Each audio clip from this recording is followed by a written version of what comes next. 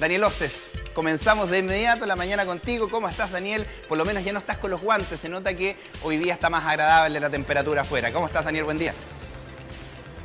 ¿Cómo estás Luis? Muy buen día también para ti y por supuesto para todos aquellos que se conectan junto a nosotros. Sí, fíjate que nos hemos encontrado con una mañana un poco más agradable. No hay que confiarse, por supuesto, pero por lo menos ya nos sacamos los guantes, ya dejamos los gorritos quizás un poco de lado, pero tú ya lo decías, las temperaturas se esperan un poco más altas que los otros días, pero siempre hay que andar preparado. Tropiconce a veces nos sorprende con mañanas heladas, a veces nos sorprende con lluvia. A lo menos hasta ahora de la mañana nos encontramos con un día completamente despejado, lo que claramente se agradece, pero no se olvide usted que estamos en invierno, por lo tanto el sol que es muy seguro que usted pueda ver durante el día, no va a traer altas temperaturas, así que no se descuide, todavía está muy húmedo, así que a tener los recuerdos del caso. Pues.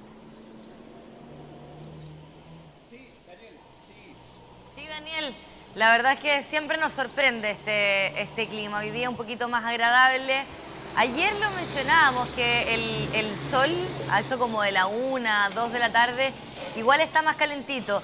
Y creo que tú eres como nuestro fiel termómetro, porque salimos un poco más temprano. No, yo salgo a abrigar, pero que se me ven, y con suerte ni se me ven los ojos, así que salgo pero tapa entera y me doy cuenta de cómo tú estás. Cuando andas con tu chaquetita roja, hace más frío con bufanda, con guantes. Y la recomendación, eso sí, para la gente tampoco es que se desabrigue hoy día porque hay temperaturas un poco más elevadas. Lo que pasa es que no está tan frío como el martes nomás. Pero sigue estando la temperatura baja, todavía tenemos que pasar agosto, los adultos mayores que se cuidan considerablemente del frío tienen que seguir preocupándose a no estar con estos cambios drásticos, de repente estar pegados a la estufa y salir a la calle. Así que son buenas recomendaciones, Daniel, para partir esta mañana. Claro, pero ¿sabes para qué en Monse va a ser un invierno seguramente muy diferente de lo que esperaban? Es para una familia integrada por tres personas en calle mm, Ejército, a la altura de Caupolicán, más o menos a la altura del 580. Y quiero invitarle a ustedes que revisemos lo que nos podemos apreciar hasta ahora en vivo, en el segundo piso, particularmente esta vivienda de al menos eh, la segunda etapa, ¿cierto? El segundo piso de material ligero y que quedó completamente destruido.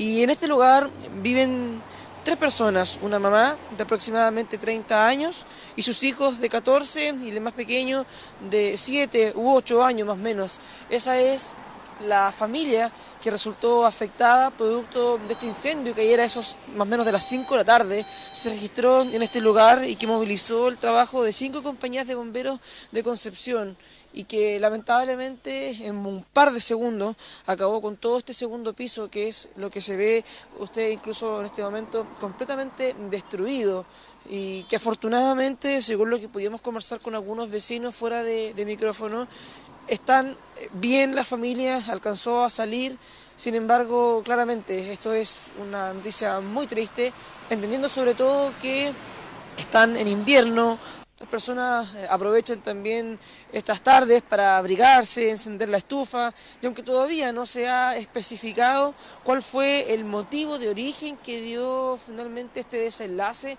a este siniestro en el lugar, aparentemente tendría vinculación con alguna estufa, pero de todas formas eso eh, tiene que, eh, una vez que se entregue esta investigación y, y se realice todos los distintos peritajes, se va a poder esclarecer el motivo por lo menos, insistimos, la familia que debía estar en este lugar se encuentra fuera de riesgo vital, se encuentra completamente bien, pero sin duda con la tristeza y la pena que significa el haber tenido que vivir este gran susto durante la tarde, más o menos cerca de las 6 de la tarde, donde estas cinco compañías de bomberos trabajaron en el lugar. Ahora, ¿cuál es también el peligro que reviste esta situación? Es que a un costado de, de esta vivienda hay una empresa de expendio de, gas licuado que se encuentra en toda la esquina de Caupolicán con Ejército y el peligro era que las llamas se pudiesen propagar hasta este lugar, lo que afortunadamente tampoco ocurrió.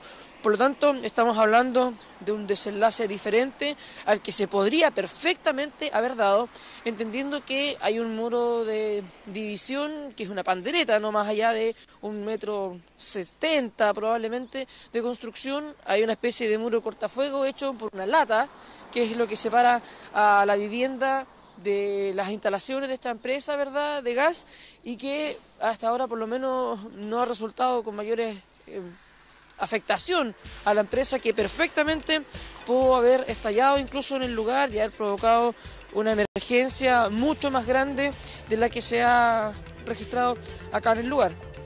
Sí, Daniel, la verdad es que es una noticia lamentable y nuevamente tenemos que lamentar eh, un incendio en estas condiciones. A ti particularmente esta semana te ha tocado ver eh, lo que significa perder la vivienda. Creo que la carga anímica debe ser eh, muy triste para las personas que, pierden, independiente de que inmediatamente uno dice, mira, están fuera de riesgo vital, eso es lo, lo mm. más importante, es la vida de una familia que hoy día no corre riesgo, pero también las cosas materiales duelen, duelen porque costaron, duelen porque hubo trabajo detrás de esto, porque es tu casa, porque son tus cosas. Entonces también hoy día ellos están pasando por un momento muy difícil y económicamente también se va a venir muy complicado. Creo que siempre en los incendios y se ve a lo menos en, los barrios y en los vecinos que se activa como un protocolo de solidaridad eh, que, es muy bueno. Yo, yo por ahí llamaría y no solo vecinos, sino que a quien se quiera acercar también, a decir, mm. mira, ¿sabes qué? A mí me sobran un par de frazadas, eh, a mí quizás tengo por ahí una, una cama en desuso, qué sé yo, cualquier cosa. Hoy día es, es necesario poder que esta red de apoyo se haga más presente que nunca, porque ellos se quedaron sin un techo donde vivir. Y como tú bien lo dices, va a ser un invierno distinto para ellos. No un invierno en, en tu casa como a, uno le hubiese gustado. Y también volver a sumar el tema de está tan helado que la gente busca y busca calefaccionar sus casas, pero hay que ser responsables. Hay que ser responsables con, con, el cuidado, con el mantenimiento de las estufas, con cuánto rato se dejan estas prendidas, con los niños cerca, etcétera. Entonces, es un poco, Daniel, para hacer conciencia, pero también para solidarizar por quienes perdieron acá su vivienda, lo que encuentro muy lamentable. Exactamente, y ese es el llamado también a los vecinos principalmente que algunos muy gentil fuera del micrófono nos decían que habían visto a la familia muy temprano en la mañana también, volver hasta su lugar, ver que se podía rescatar y claramente hay que hacer un llamado justamente a quienes viven muy cerca de acá o a alguien que quiera solidarizar con esta familia que sin duda no lo pasó bien, recordemos que están ubicados en calle Ejército al llegar a Caupolicán acá en Concepción. Buen día. Bien, Daniel, gracias, buenos días. Retomamos el contacto.